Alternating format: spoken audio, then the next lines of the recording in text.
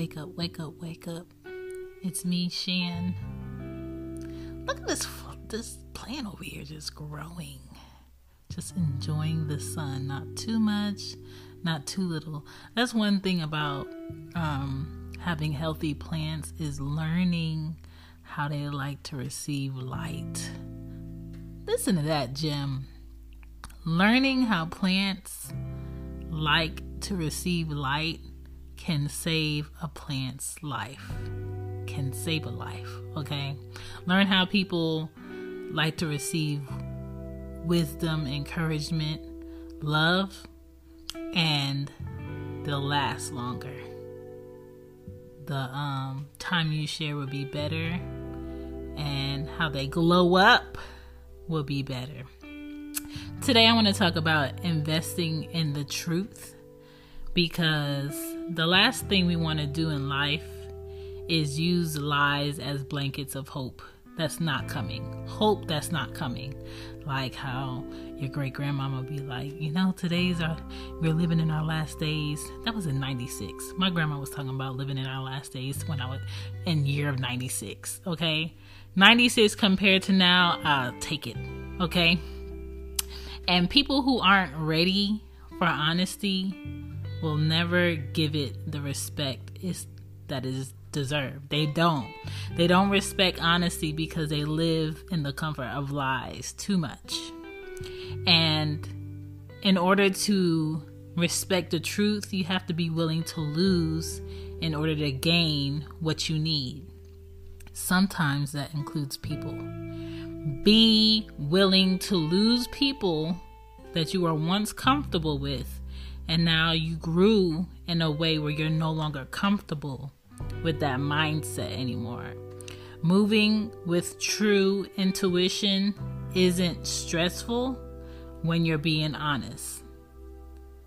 And when it comes to growth, you got to get to a point where you can honestly say, you know what? I messed up. This is how I messed up with this relationship. This is how I messed up this opportunity. This is how I could have done this better. It's taking accountability for what you could have done to possibly save that relationship that was so good that you missed, or save that opportunity to go further in your career and it's taking you a little bit longer now because you didn't take advantage of a, a situation that you had, right? And everyone isn't supposed to love your honesty, but people who deserve to be around you should, should respect your honesty.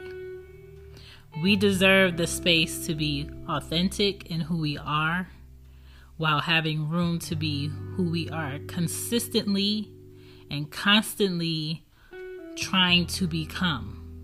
It's the most rewarding feeling to just be around a person. Know you don't have to lie to a person to keep them around. Know that they don't want to be lied to, and to understand that they respect you enough to not bring you bullshit. Let's get into episode three.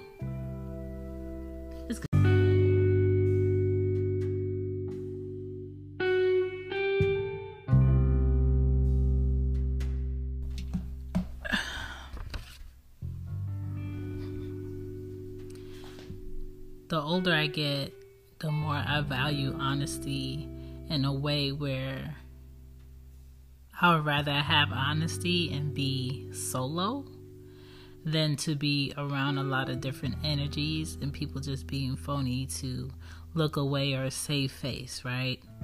And to invest in your truth is going to look like you're losing but you're actually gaining, right? You can make your life easier by telling the truth. People rarely bring bullshit to people who are direct.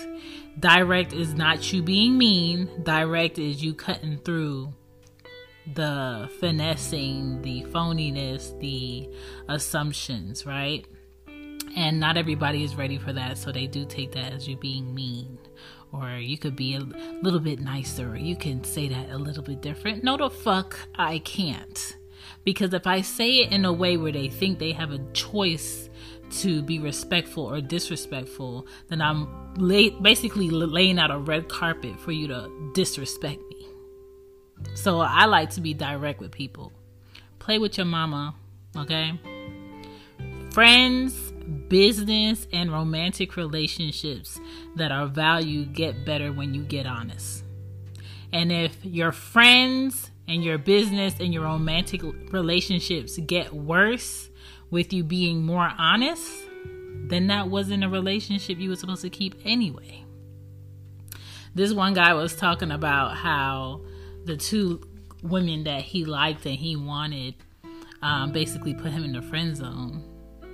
And he's, he was basically saying in a way that that's what I get for being honest. Ain't nothing wrong with that you just basically saved your time, saved your effort, possibly saved your money because you're a man and women out here expect men to pay for everything by not pursuing these women that told you by putting you in the friend zone that they don't like you or they don't want you or what you want with them they don't want. That's why I'm just like, why are men or women scared of honesty are you scared of reality? Because the reality is if somebody don't want you, there's nothing you can buy them, um, love them the more or or or fix them to want you. They just don't. And wanting someone and loving someone is two different things. Because I could love a lot of people and not want them in a romantic way or I could love a lot of people and not be able to handle them as my friend. Okay? They may be able to handle me as their friend, but I may not be able to handle them as my friend because they come with too much shit. They come with shit that interferes with my peace. And that is something that I'm not about to, you know, trade. This is not a trade off personally, I feel like out of the, you know, people who call you out the blue or ask opinions um, from you that are valued, that's like flattery to me because I know that they really value my opinion because they call me out the blue. This is not somebody that just calls me because they're bored. They got this particular thing that's very important to them and they value my opinion so much that they called me out of anybody else that they could call for my honest opinion. And too many people trying to be IG ready in real life and not be them themselves. You got to be yourself in a comfortable way in real life. Like the filters are not out here in real life. So I personally avoid being in the position to hurt others by always telling the truth. There is nothing that you can be like, well, last week you said this, and now this week you changed it. Or, you know, to this person you said this, and now when I confront you, it's something different. No, the same thing that I'm going to tell you to your face, I'm going to tell a person without you in the room because that's how I rock. If I don't fuck with you on Monday, I definitely don't fuck with you on Wednesday or Friday or even Sunday. Whatever day you claim as the Sabbath, because I know Jehovah Witness claim Saturday as the Sabbath. I listen, okay? You ain't never gonna get mixed vibes from me.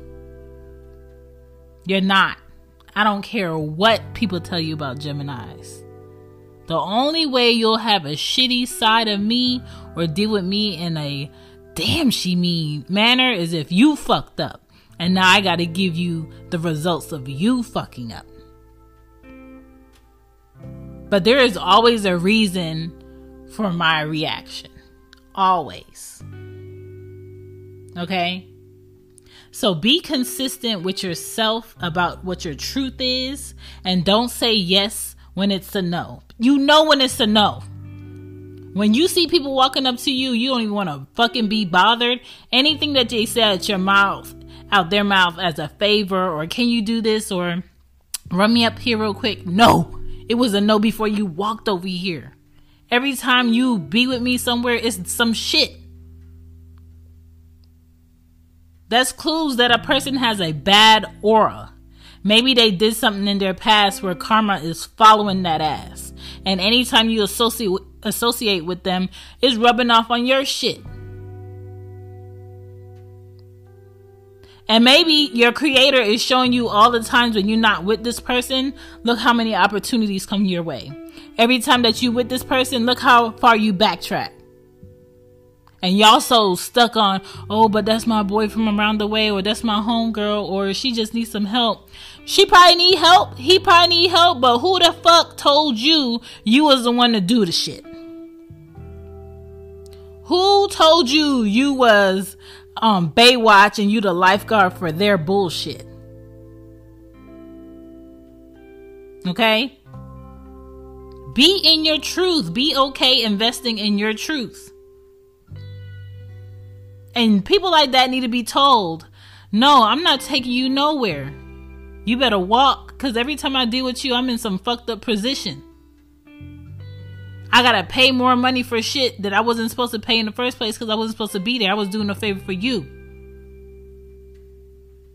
People come into your life when you moving in the right direction for your life and they bring about good opportunities people who are not supposed to be in your life, when you're on a path of where you need to be, take you off of that path where you need to be. It's not hard. Life is not hard.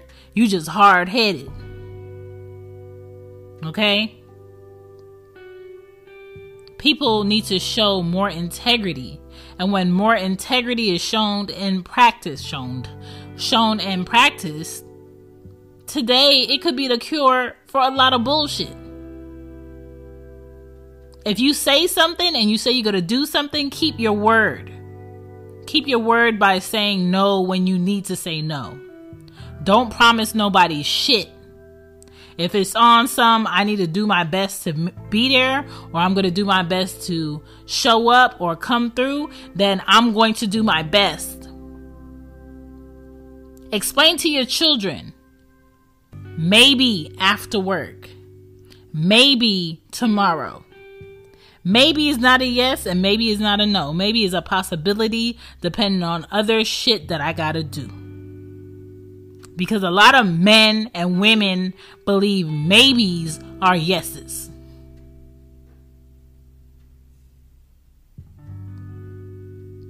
Please pay attention to who is lingering around you and funking up your aura.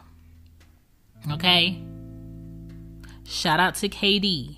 Protect your energy at all times. Meaning, if you're out in a group setting and somebody's vibe is off and you could feel somebody staring at you or or giving you hate vibes or negativity or or, or um, making shots or being extra or calling negative attention around you, move around. Don't stay. Don't uh, make that negative energy back. There's real miserable people out here that don't give a fuck about them and don't give a fuck about who around them. And a lot of people be having these people around their kids, around their parents, around their uh, their jobs, their possible opportunities to be better. And these are miserable people. They're not happy unless something good is happening for them only.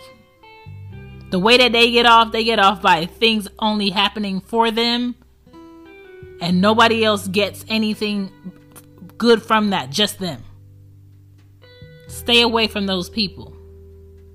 Invest in your truth by always telling the truth and being honest with yourself. Listen to that gut. If that gut tells you stay your ass in the house, stay in the house.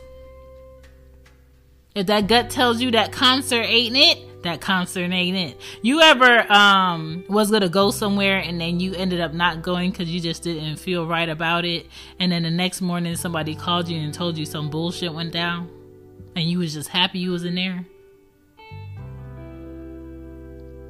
The creator works just like that. Okay? He he or she or whatever that power is always gives you an option to believe and trust in yourself to make the right decision. And we all know what the right decisions are when we are in the moment of making those decisions. A lot of us sway to the left or we sway to the right. That ego and that pride will make you sway in ways you're not supposed to sway. I just wanted to thank you guys for checking out She Gets It podcast. This podcast wouldn't be nothing if I wasn't getting listeners, okay? So I appreciate you. If you're looking for ways to support She Gets It pod, you can always get you some merch from She Gets It shop with Teespring, drop ship delivered right to you, or you can donate directly to Red Circle, which is my podcast platform that provides you all of my podcasts, and you could donate to Red Circle where does the money go? The money goes to, you know, supporting the ideas that come with podcasting for me, equipment, and, you know, where I can get more merch ideas for the podcast to make the next seasons to come better. All right. I am a creative, but I do work a nine to five. But I am a creative and I do pour into what I do, what I come up with, and how I give you guys content constantly. Greg knows this all of the pod fam knows this. Baylor, Gigi, Drake. Like, what is Shan doing? She's probably recording, or she's probably coming up with an episode, or she's probably doing merch. So I appreciate you guys. Um, everything goes somewhere to support something I am doing. And don't forget to check me out at shanbypodden.com. Now back to the show.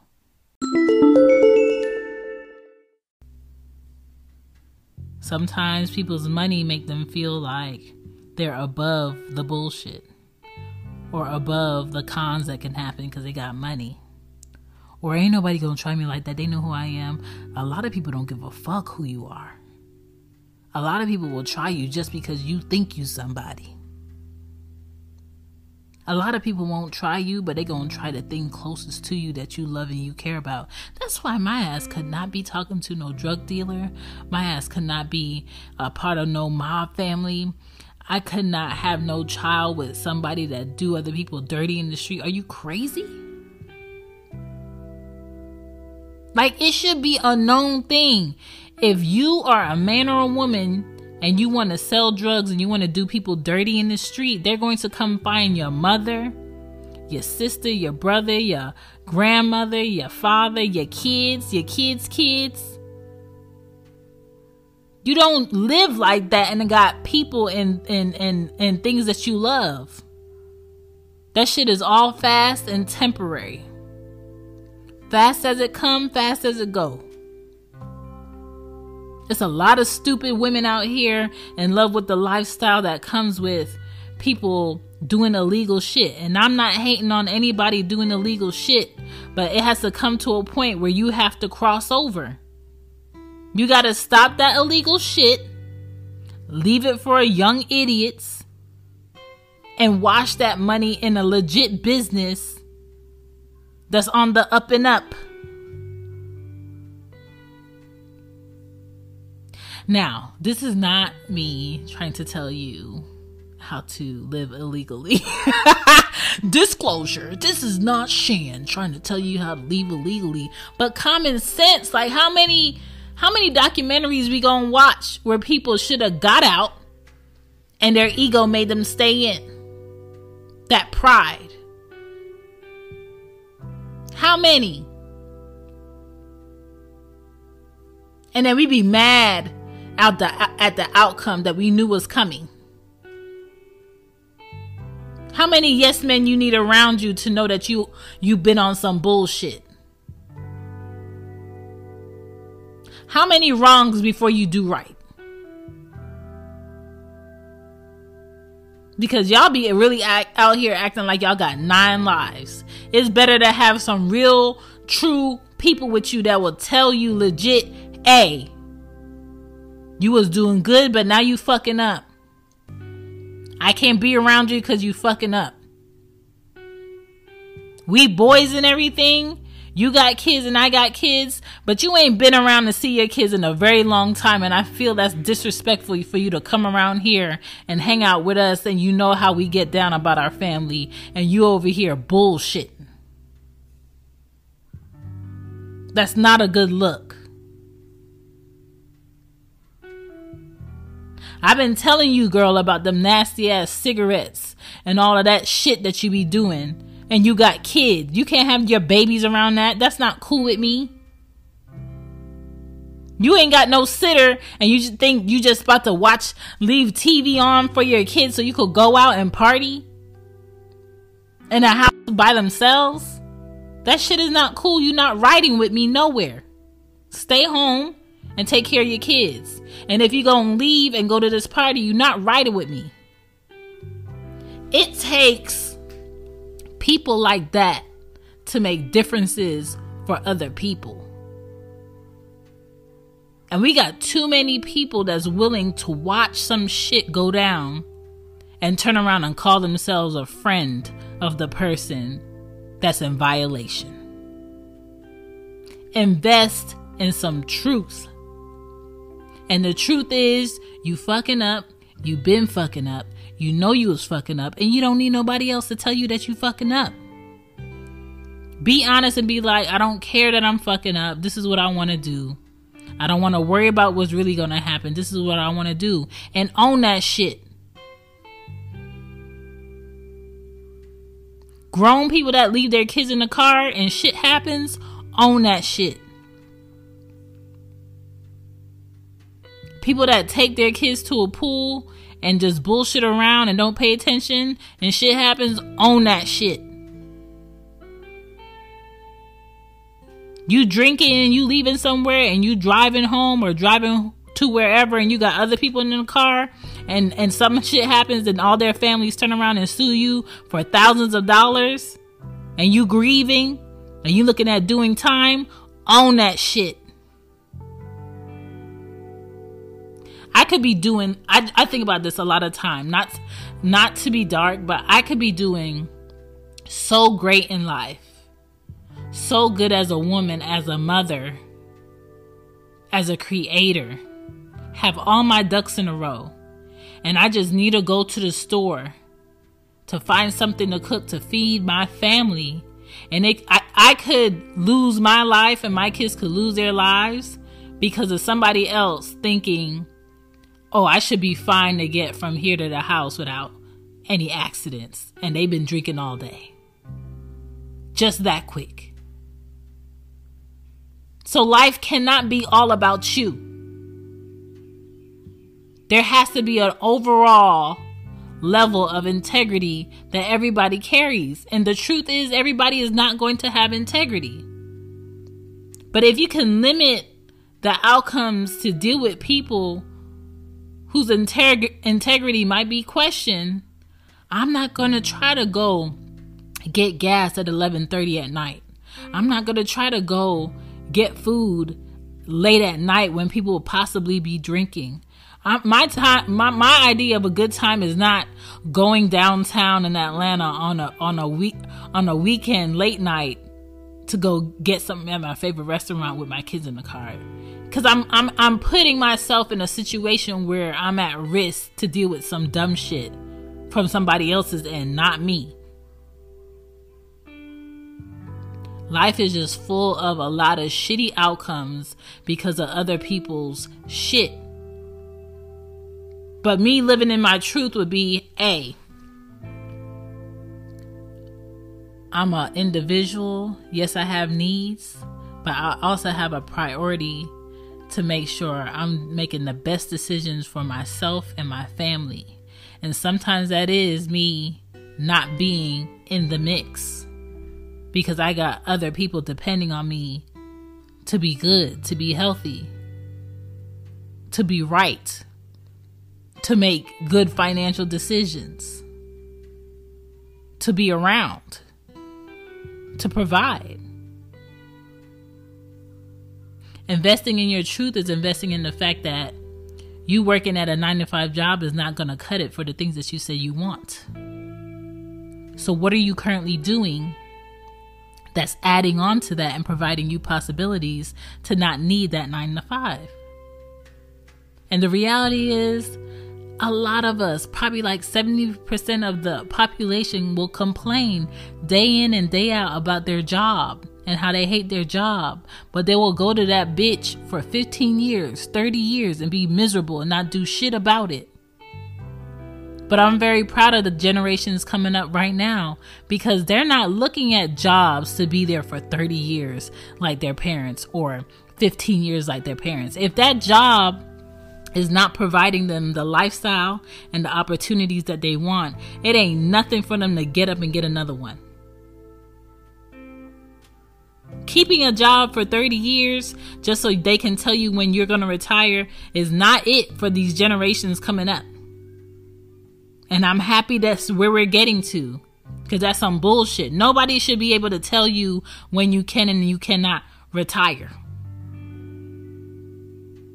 Who told you everybody's lifestyle and outcome and result needs to be the same? Not all change is bad, but it's a lot of people scared about change. And you cannot be scared about change trying to invest in your truth. Your truth might require you to do some shit first your truth might require you to um, be the only one that shows up. Your truth might require you to be able to balance other people having self doubt. So get comfortable with your truth. Because what's required from you to get the things that you want might be completely different from what is right now. you might have to cut a new avenue on some new shit.